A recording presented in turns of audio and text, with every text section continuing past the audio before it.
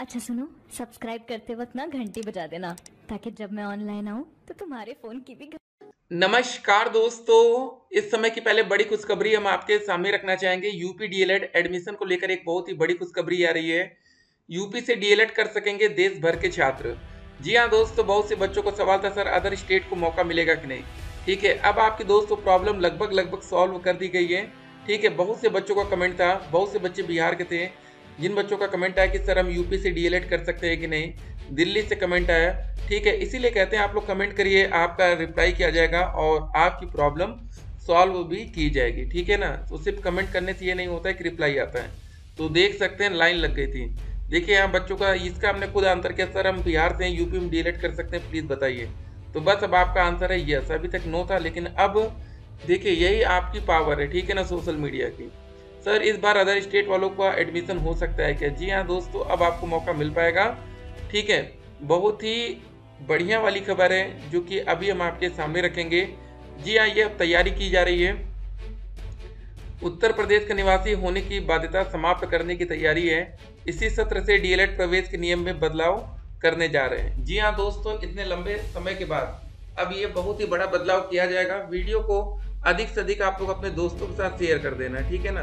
आप लोग video share करना भूल जाते हैं, वीडियो को शेयर करना है लाइक करना है और कमेंट भी करना है। फिर से, जी हाँ दोस्तों, आपका जो भी डाउट होगा कमेंट करिएगा। हम आपको इसी वीडियो में अपना व्हाट्सएप नंबर देंगे।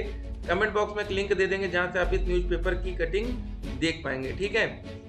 डायट कॉलेज की कटाप क्या जाएगी? सब कुछ हम इस वीडियो में डिस्कस करेंगे। यूपी डीएलएड में एडमिशन का क्या नियम है? देखिए दोस्तों, कौन से नियम को चेंज किया जाएगा? देखिए एडमिशन में अभी निवास को लेकर एक ऐसा नियम रखा गया है कि ऐसे अभ्यर्थी आवेदन हेतु पात्र होंगे जो उत्तर प्रदेश से स्थायी निवासी हो। प्रवेश के समय होने वाले अभिलेखी जाँच में अभ्यर्थी को उत्तर प्रदेश में अपने गृह जनपद का सक्षम अधिकारी द्वारा प्रवेश की तिथि तक जारी किया गया निवास प्रमाण पत्र प्रस्तुत करना अनिवार्य होगा। अन्यथा की स्थिति में अभ्यर्थी का आवेदन पत्र निरस्त कर दिया जाएगा। पहले दोस्तों ये नियम था, लेकिन अब इसको हटा दिया जाएगा। ठीक है, ये पूरे चांसेस अब बन चुके हैं क्योंकि न्यूज़पेपर की कटिंग अब आपके सामने पूरी अपडेट अभी हम आपके सामने रखेंगे। आप लोग के दोस्त और भी कमेंट थे सर मेरे हाई स्कूल में 45 परसेंट इंटर में अड़सठ है ग्रेजुएशन में पचपन। तो प्राइवेट ही कॉलेज आपको मिल पाएगा, देखिए।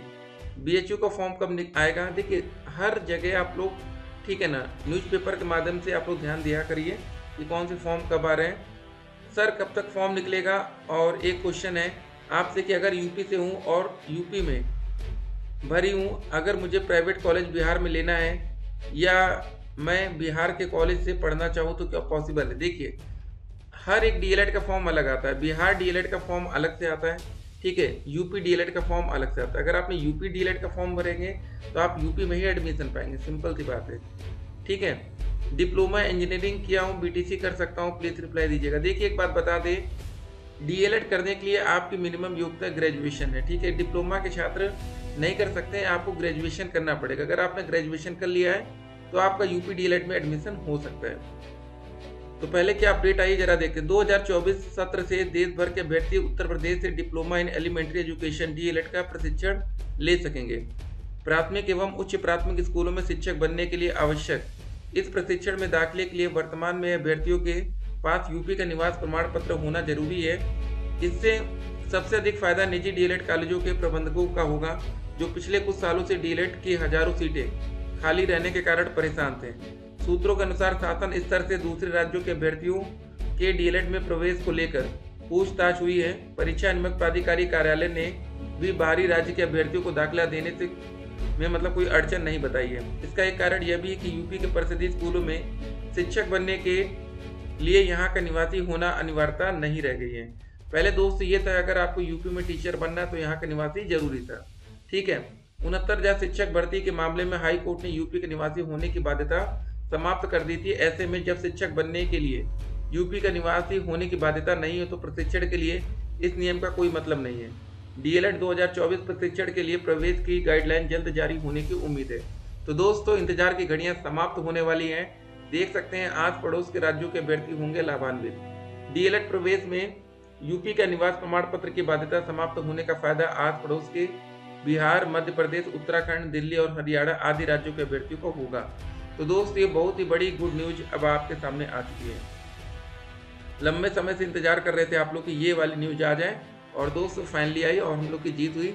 काफ़ी बच्चों के दोस्त इस बार कमेंट्स ये लिए गए ठीक है ना? अदर स्टेट वाले। सर डी करने से क्या फ़ायदा होगा फ्यूचर में? डी करने से फ़ायदा आपको ये होगा, आप वन टू फाइव के टीचर बन सकते हैं। सिक्स टू एट के टीचर बन सकते हैं। वैकेंसी आती है तो। ठीक है ना? दो हज़ार सत्ताईस नंबर है सर डायट कॉलेज मिल जाएगा, बिल्कुल मिल सकता है। ठीक है ना? देखिए, हमने आपको एक बात क्लियर कर दी है कि अगर कोई बच्चा जनरल कैटेगरी से तो दो सौ तीस से 240 प्लस और आरक्षित वर्ग में 225 से लेकर 235 प्लस ठीक है, ये दोस्तों बीच में नंबर है 227 तो चांस बन सकता है। ठीक है? बाकी जो भी अपडेट्स आएगी अपडेट हम आप तक पहुंचाएँगे। और हमारा व्हाट्सएप नंबर लिख लीजिए आप लोग eight seven three eight zero seven nine two one six. सत्तासी अड़तीस ज़ीरो सात बानवे सोलह। आप हमें व्हाट्सएप पर मैसेज कर सकते हैं, अगर आपको कोई डाउट है एडमिशन को लेकर। ठीक है? तो ये बात इंपॉर्टेंट थी तो हमने आपके सामने रख दी है। ठीक है, जल्द ही दोस्तों लिंक एक्टिवेट होगा। अधिक जानकारी के लिए डी कॉम वेबसाइट आप जानते हैं। एक और बात, शैक्षिक अर्हता को लेकर अभी बदलाव की बात नहीं है। अगर आप जनरल कैटेगरी के स्टूडेंट हैं तो मिनिमम आपके दोस्तों ग्रेजुएशन में 50 परसेंट और आरक्षित वर्ग के छात्र हैं तो आपको मिनिमम 45 परसेंट चाहिए होगा। ठीक है? आयु को लेकर दोस्त आपकी मिनिमम एज 18 साल होनी चाहिए। 18 साल से अगर आपकी उम्र कम है तो आप एडमिशन नहीं ले पाएँगे। ठीक है मिनिमम एज तो ये सब बातें हो गई। तो सबसे पहले दोस्तों, आप लोग का रजिस्ट्रेशन शुरू होगा, जहाँ पर आपको सात सौ रुपये से पाँच सौ रुपये जो भी आपकी फ़ीस बनेगी, वो आपको पेमेंट करनी पड़ेगी। एक और सवाल होगा आपके मन में। प्राइवेट कॉलेज की फ़ीस एक साल की इकतालीस हज़ार होती है, दो साल की इकतालीस और जोड़ दीजिए। तो दो साल में आपको टोटल बयासी हज़ार पेमेंट करना पड़ेगा फ़ीस फ़ीस है। उसके बाद प्रैक्टिकल के नाम पर अलग से पैसा वसूला जाता है एग्जामिनेशन फॉर्म के नाम पर अलग से पैसा लिया जाता है, ठीक है? थोड़ा बहुत ये भी आप ध्यान में रखेंगे, मान के चलिए दस बारह हज़ार और, ठीक है? ये हो गया। और प्राइवेट और सरकारी कॉलेज की फ़ीस एक साल की दस हज़ार दो सौ रुपये होती है, दूसरे साल की भी दस हज़ार दो सौ, ठीक है? तो कितना अंतर है आप देख सकते हैं। ये है सरकारी कॉलेज की फ़ीस ये प्राइवेट ठीक है ना? इसीलिए अगर सरकार कोई काम प्राइवेटाइजेशन की तरफ़ करती है तो गलत होता है। तो आप समझ रहे हैं कि डीलेट करने से कितना फ़ायदा होगा? देखिए, जब आप लोग फॉर्म भर लेंगे, हमारा देखिए, अभी भी प्रवेश का जो आधार रहेगा, वो मेरिट ही रहेगा। ठीक है? एंट्रेंस की कोई बात नहीं की जा रही कि एंट्रेंस एग्ज़ाम होगा। प्रवेश का आधार एडमिशन का आधार दोस्तों, जो रहेगा, वो मेरिट ही रहेगा। मेरिट आपकी कैसे बनेगी? आप लोग का हाई स्कूल में कितना परसेंटेज है, बारहवीं में कितना परसेंटेज है ग्रेजुएशन में। हर जगह से परसेंटेज से आपको मतलब होगा, कहीं पर भी नंबर नहीं मांगा जाएगा। ठीक है? लेकिन नंबर ही डालेंगे तो ही तो परसेंटेज वहाँ बनेगा ना। तो मान लेते हैं यहाँ पर 80 परसेंट हाई स्कूल में, बारहवीं में भी अस्सी है ग्रेजुएशन में भी अस्सी है। तो आपके टोटल बनेंगे 240 नंबर। सबको जोड़ लेंगे, आठ आठ, सोलह आठ चौबीस। तो ये दोस्तों 240 नंबर आपके सरकारी कॉलेज के लिए पर्याप्त हैं। ये दोस्तों, उसके बाद देखिए, जब आप लोग फॉर्म भर लेंगे तो उसके बाद जो आपकी मेरिट बनती है, जो आपकी रैंक बनती है, ये सबसे इंपॉर्टेंट है। ठीक है? रैंक के हिसाब से ये आपकी काउंसलिंग होती है पहले से लेके बीस हज़ार तक। ठीक है? अगर आपकी रैंक बीस हज़ार के अंदर है तो सरकारी कॉलेज पाने के चांसेस ज़्यादा होते हैं, लेकिन उसके बाद आप जनरल कैटेगरी से तो की बात हो रही है तो उसके बाद आरक्षित वर्ग में कोई दिक्कत नहीं है, आपके दो लाख रैंक पर भी सरकारी कॉलेज मिल जाएगा। बस आप फ्रीडम फाइटर हो जाइए एक्स सर्विस मैन हो जाइए फ़िज़िकल हैंडीकेप में आ जाइए। तो कुछ ऐसी चीज़ें हैं जहाँ पर आपको फ़ायदा मिलता रहेगा। ठीक है, आप लोग को बिल्कुल परेशान नहीं होना है, अच्छे से पढ़ना है। और जिन भी बच्चों का भी ग्रेजुएशन फाइनल ईयर का रिज़ल्ट नहीं आया तो ध्यान दीजिए, जब तक रिज़ल्ट नहीं आएगा, तब तक आप आवेदन के पात्र नहीं होंगे। एक अपेयरिंग छात्रों को भी मौका दे देना, तब तो भैया ये खुशी कर देंगे हम लोग को। अपेयरिंग छात्रों को मौका नहीं मिल पाता क्योंकि मेरिट ही बेस होता है एडमिशन का। ये दोस्त, ये एडमिशन का बेस हाई स्कूल और इंटर कर दें तो तो कोई दिक्कत नहीं ग्रेजुएशन का, लेकिन जब ग्रेजुएशन के भी परसेंटेज जुड़ जाते हैं तो फिर दिक्कत आती है। ये दोस्तों, आपकी मतलब चेक लिस्ट है। ये सारे मतलब डॉक्यूमेंट्स आप तैयार रखेंगे high school inter graduation allotment letter ये तो आप दस हज़ार पेमेंट करके डाउनलोड करेंगे, आवेदन पत्र का प्रिंट आउट ये सब। एक बात आपको बता दें दस हज़ार जो एडवांस फ़ीस आप देते हैं, बाद में दोस्तों, जैसे आपकी फ़ीस पहले साल के इकतालीस हज़ार है प्राइवेट में तो बाद में आपको इकतीस हज़ार ही देना पड़ता है, ठीक है ना, वो माइनस होता है। तो सोशल मीडिया की तमाम अफवाहों से बच के रहना है, जो भी बातें होंगी, और बताइएगा कमेंट करके कि अदर स्टेट के छात्रों को बहुत ही बड़ी खुशखबरी मिली है। अब जो भी बच्चे बीस साल एडमिशन नहीं ले पाए कहीं से तो अब वो यूपी में तैयारी कर लीजिए, क्योंकि यूपी में भर्ती भी बड़ी आती है हाँ एक बात ध्यान रखिएगा। एडमिशन लेते समय आप ध्यान रखिएगा, अगर कोई बच्चा बिहार का है ना तो यूपी के एकदम बॉर्डर पर ही आप लोग लीजिएगा, ज़्यादा यूपी के अंदर बताइएगा नहीं तो बाद में आपको दिक्कत हो सकती है। क्योंकि क्लास करना होगा, देखिए क्लास की दिक्कत तो नहीं होगी, लेकिन कम से कम जो आपका एग्ज़ाम होगा ना, वहाँ दिक्कत आ सकती है, ठीक है? दूर आना पड़ेगा आपको पेपर देने। तो क्या हाँ D El Ed B T C में डायरेक्ट एडमिशन कैसे होता है? तो दोस्तों देखिए डायरेक्ट एडमिशन लेने के लिए भी आपको कम से कम रजिस्ट्रेशन करना पड़ेगा। ठीक है कंप्लीट रजिस्ट्रेशन फॉर्म भर देंगे, बस आप काउंसलिंग से बच सकते हैं, यही होता है। ठीक है ना?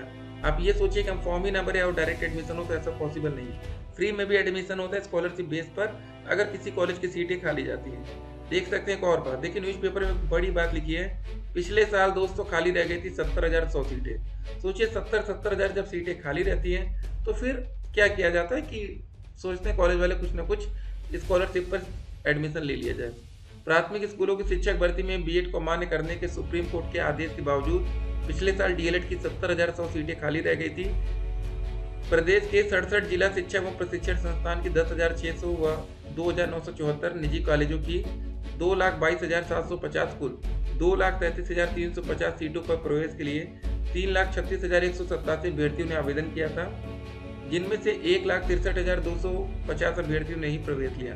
तो दोस्तों, देख सकते हैं, पिछले साल भी सत्तर हज़ार सीटें खाली थी। ठीक है ना? तो परेशान नहीं होना है। जिन बच्चों का नंबर बहुत ही कम है तो कहीं ना कहीं आपको एडमिशन मिलेगा। फिर मिलते हैं स्टे कनेक्टेड आपका दिन शुभ हो।